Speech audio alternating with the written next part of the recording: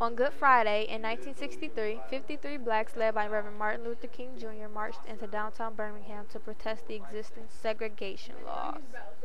All were arrested. The authorities picked up Martin Luther King Jr. in Birmingham, Alabama. King does not feel that they have broken the law. He states laws are made to protect the people, not degrade and punish. Martin Luther King Jr. was told he was being arrested for demonstrating without a permit. As far as King is concerned, the African American will continue to do whatever is necessary non-violently to obtain the legal and moral right that is theirs. Martin showed no shame in his photo at all. He had no problem going down for his race at all and wasn't going to stop until he got what he wanted. Sitting in jail, Martin Luther King Jr. served a total of seven days thinking about what his plan was going to be next.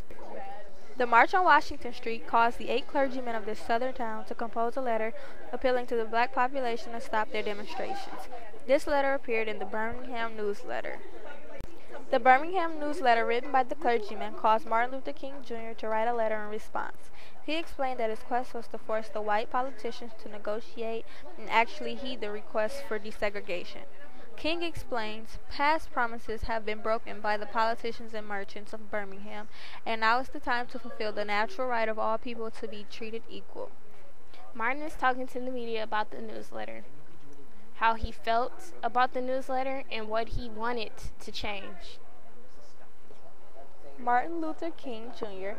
had a meeting with President Kennedy about the rights of African Americans and desegregation.